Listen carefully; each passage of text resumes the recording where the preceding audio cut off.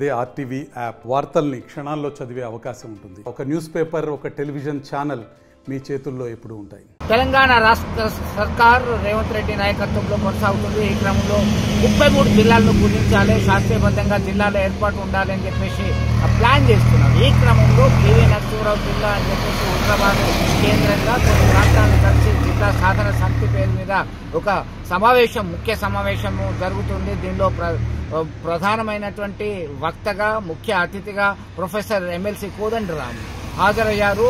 జిల్లాల ఏర్పాటు అనేది ప్రాదేశిక దృష్టిలో పెట్టుకొని జాగ్రఫికల్గా అన్ని కల్చర్గా సాంస్కృతిక వ్యవహారాలు అన్ని కలిసే విధంగా ఆర్థికపరమైనటువంటి అంశాలు సామాజికపరమైనటువంటి అంశాలు కలిసినప్పుడు మాత్రమే జిల్లాల ఏర్పాటు ప్రక్రియ అనేది బాగుంటుంది శాస్త్రీయబద్ధంగా ఉండాలని ఆయన అభిప్రాయపడ్డారు. ఆయన ఏమంటున్నారో మనం చూద్దాం ఒకసారి.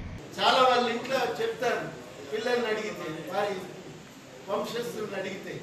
ఆయన కొత్తగా ఆ డీజిల్ ఇంజన్ వచ్చిన రోజుల్లో పెద్ద మనుషులకు తెలుస్తుంది దాన్ని ఎట్లా రిపేర్ చేయాలనేది పెద్ద పంచాయతీ ఉంది ఆ రోజుల్లో డీజిల్ ఇంజన్ రిపేర్ చేసిన పేరు నాకు దిక్కుల పాలు ఉండేది మార్పు ఆ డీజిల్ ఇంజన్ మొట్టమొదట తెచ్చి మక్కలు పండించి ఈ ప్రాంతానికి ఒక ప్రత్యేకతను తెచ్చి మరి ఇక్కడి ఆ డీజిల్ ఇంజన్ రిపేర్ చేయడానికి నేర్చుకున్న మొదటి తరంలో పివి నరసింహారావు. మనం గురించి చెప్తే ఇవన్నీ చెప్పాలి. పివి నరసింహారావు కంప్యూటర్ వచ్చేసింది యుగం మారింది. నేర్చుకోకపోతే వేస్ట్ అంటే ఆయన మొత్తం కంప్యూటర్ నేర్చుకున్నాడు అదని ఇప్పి డీజిల్ ఇంజన్ ఎట్లా ఇప్పి బిగించడం నేర్చుకున్నాడో కంప్యూటర్ కూడా ఇప్పి బిగించడం నేర్చుకున్నాడు. కంప్యూటర్ మీద తెలుగులో టైప్ చేసుడు ఎట్లా అనేది నేర్చుకున్నాడు.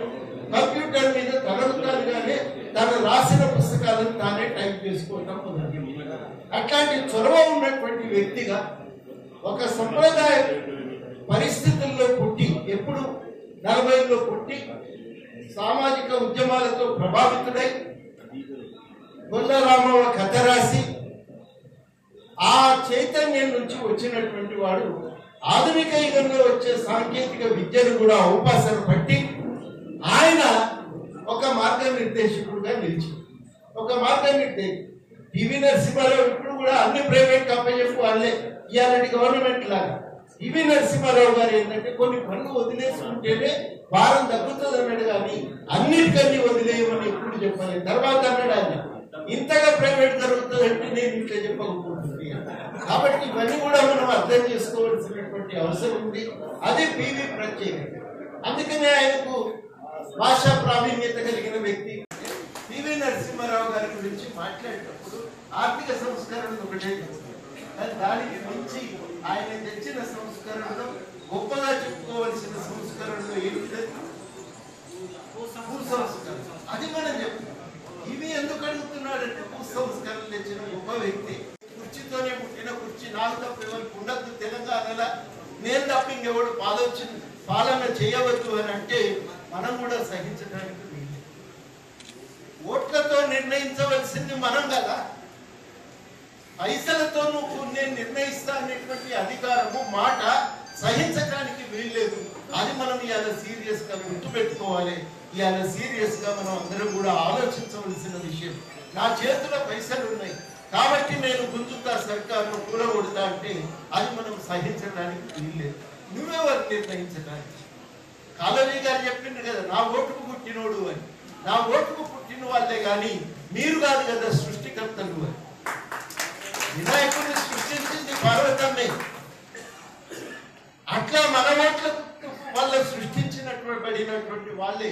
నీ పైసలకు పుట్టినటువంటి వాళ్ళ మాత్రం పుట్టిన వాళ్ళు మాత్రం కాదు అనేది మనం చెప్పకపోతే మన అధికారం మనం కోల్పోయిన వాళ్ళమే ఈ జిల్లా కోసం అడగాలన్నా మన పంటకు ధర అడగాలన్నా అధికారం పోతే మాత్రం మనకి ఎనలేనటువంటి నష్టం జరుగుతుంది. పురోగతి జరగాలి వాటా మనకు దక్కాలి మనం కూడా లాభపడాలి. అందుకనే ఇవాళ కొత్తగా కాంగ్రెస్ పార్టీ కూడా ఒక మాట ఏమన్నదంటే మాది ఆరు గ్యారంటీలు కాదు ఏడు గ్యారంటీ ఏడో గ్యారంటీ ప్రజాస్వామిక. ఆ ప్రజాస్వామిక పాలనే గొప్పతనం. నిజానికి గత పాలనకు ఇప్పటి పాలనకు తేడా ఏంటంటే ప్రజాస్వామ్యం అది లేకపోతే తేడా లేనే లేదు స్కీమ్లు ఎవరైనా ఇస్తారు. ఆ ప్రజాస్వామిక పాలన అనేది అది చాలా కీలకం. అందుకనే కంచెలు మూలగొట్టిన రోజు జనం సంబరపడ్డారు. నీకేమన్నా వచ్చిందా? నాకేమన్నా జీవనం పడ్డాయా ఏం పడలేదు కానీ ఎంతో విముక్తి చెందినటువంటి ఒక ఒక ఆనందము ఒక తృప్తి. కానీ నువ్వేం చేయాలంటే ఇవాళ మామూలు రోజులు కొట్లాడు. తెల్లారి మా పక్క ఊరోళ్ళు కొట్లాడు. దానివల్ల ప్రభావం పడతలేదు. అందరం ఒక రోజు కొట్లాడాలంటే నువ్వు హైదరాబాద్కి వెళ్ళిపు అందరం ఒక రోజు పని ఇక అట్లయితేనే ఆందోళన తొందరగా పోతారు, అంటే సమన్వయపరచడం తప్ప మిగతా పాత్ర ఇది కాదు. అంత గొప్ప ప్రజాస్వామిక స్ఫూర్తి తెలంగాణ. ఓసారి నేను ఎవరో ఇంటికి పోతున్నా. సీతారాముల కళ్యాణం జరుగుతుంది వాళ్ళ ఇంట్లో ఈ కల్వకుర్తి కాడ చాలా ఇళ్ళలో కళ్యాణం చేస్తారు. మేము పోతుంటే అక్షత లేచిపోవాలని మమ్మల్ని అడ్డం వచ్చి ఆపి తీసుకున్నాడు డప్పు కొడుతున్నాడు. ఆయన అంగి చినిగింది. అంగి చినిగింది ఒక కుట్టేసుకున్నాడు. చెప్పులు తెగిపోయినాయి. అబ్బాయి చెప్పులు. పిన్నిస్ పెట్టుకున్నాడు. డప్పు కొడుతుంది. పెద్ద మనిషి. నన్ను ఆపిండు ఆపి ఇట్లా పెట్టిండు జేబులో. ఇట్లా ఎవరైనా పెడతారు జర సుమ జాగ్రత్త అంటే అమ్ముడు పోయి అప్పుడు పోయి జర బయలుమని చెప్పిండు. పక్కున్నానే ఆగాగండి అన్నా నేను తప్పు చెప్పిండు? ఎందుకు ఆపుతుండు అంటే ఇగో ఇన్ని పోరాట ఒకసారి కొత్తగూడెం పోతున్నా. కొత్తగూడెంలో ఎక్కి బస్ ఎక్కి పోతున్నా ఒక ఆయన ఎవరు? కొట్లాడితే పోదని రండి చేసి చేయకుండా ఒక చెప్పు పొందిండు లేకపోతే నేను నేను కూడా ఎవరు అంతే కదా? అందుకని ఆ స్ఫూర్తి నుంచి పుట్టినాం కాబట్టి నా మీద కూడా ఒక బాధ్యత ఏముందంటే ఆ రోజు ఆయన జేబులో చేయి పెట్టి ఉందంటే జర సోయితోని వ్యవహరించాలి.